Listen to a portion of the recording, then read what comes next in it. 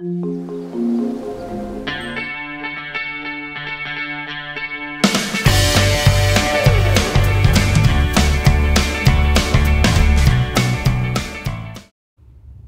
guys, kembali lagi di channel Andra The Explorer.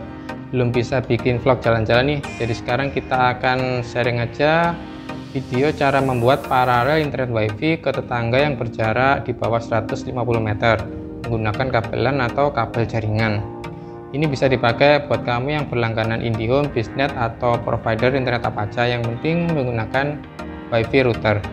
Peralatan yang kita gunakan untuk membuat internet paralel ini yaitu yang pertama tang krimping yang kedua kabelan. Yang ketiga konektor RJ45 dan tentu saja harus ada router wifi nya untuk router wifi bebas menggunakan merek apa aja. Bisa menggunakan TP-Link yang harganya di kisaran 200 ribuan merek tenda atau CPE bebas ya guys. Untuk kabelannya gunakan khusus yang spesifikasi buat outdoor biar lebih tahan panas matahari atau tahan cuaca lebih tepatnya. Kemudian sebelum membeli kabelan pastikan dulu kamu ukur berapa meter kabel yang diperlukan. Ini supaya terhindar dari adanya sambungan karena sambungan pada kabelan itu berpotensi untuk terjadi error pertama-tama kita membuat sambungan konektor RJ45 kita menggunakan konfigurasi straight to straight. Langsung aja kita mulai ya. Check it out. Untuk mengupas kulit kabelan menggunakan tang krimping bagian yang ini. Kita masukkan kabel tang krimping ditekan kemudian kabel diputar-putar. Maka kulit kabel luar akan langsung lepas Kemudian kita urutkan kabel sesuai konfigurasi straight to straight.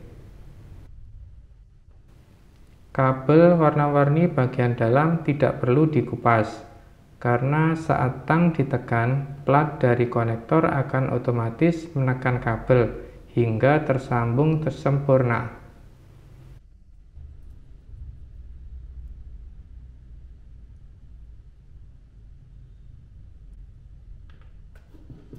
Rapikan ujungnya menggunakan tang krimping pemotong bagian yang ini.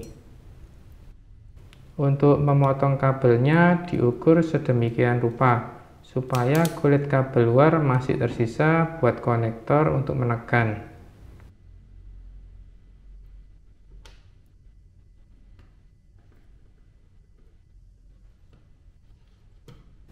Kita masukkan kabelnya ke konektor.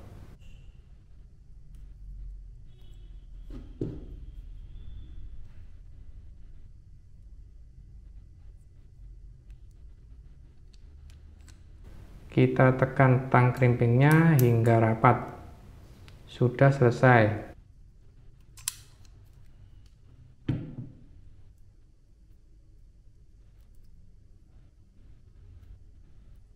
Kita lakukan untuk ujung kabelan satunya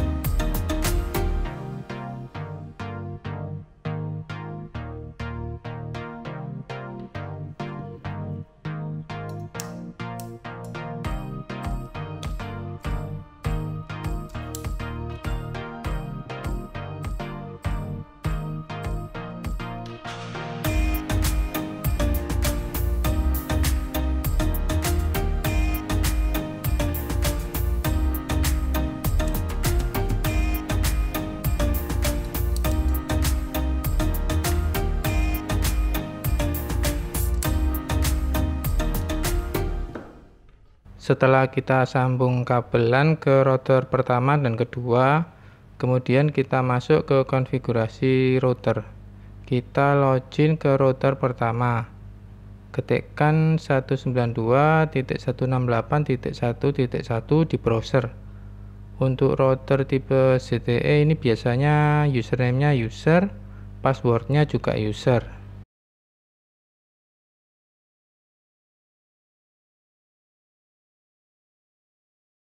masuk ke menu network.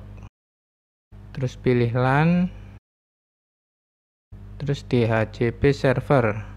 Lalu cari router wifi kedua di list jaringan yang tersambung. Router kedua saya pakai TP-Link WR820N di sini IP addressnya 192.168.16 lanjut kita masuk ke browser lagi buat login ke router kedua password untuk TP-Link biasanya admin.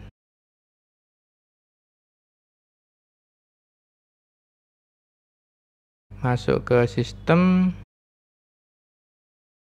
Quick setting. Terus pilih change mode. Pilih yang access point. Ini ilustrasi untuk ini router bawaan IndiHome dan yang ini untuk router kedua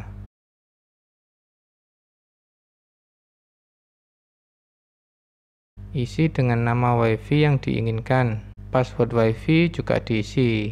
Klik save. Sudah selesai. Begini hasil ping dari laptop ke router wifi. Yang sebelah kiri ping ke router pertama. Yang kanan ping ke router kedua. Hampir tidak ada request timeout ya. Ini artinya sambungan LAN sudah baik seperti ini LED indikator di router pertama. Untuk indikator LAN 4 ini nyala berkedip konstan tanpa ada jeda mati. Apabila ada jeda mati beberapa kali setiap detik itu artinya ada yang tidak beres dengan jaringan LAN-nya. Harus ditelusuri lebih jauh masalahnya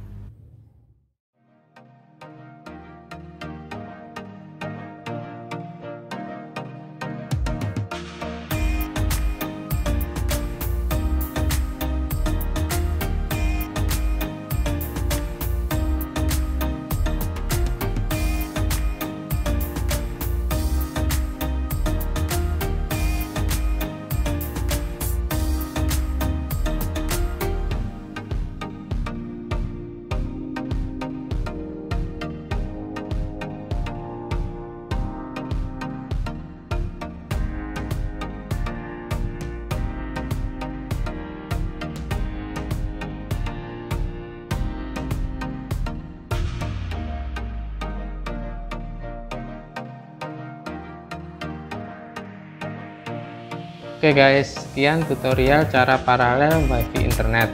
Semoga bermanfaat. Jangan lupa like, komen, dan subscribe supaya kalian dapat notifikasi apabila ada konten baru. Terima kasih.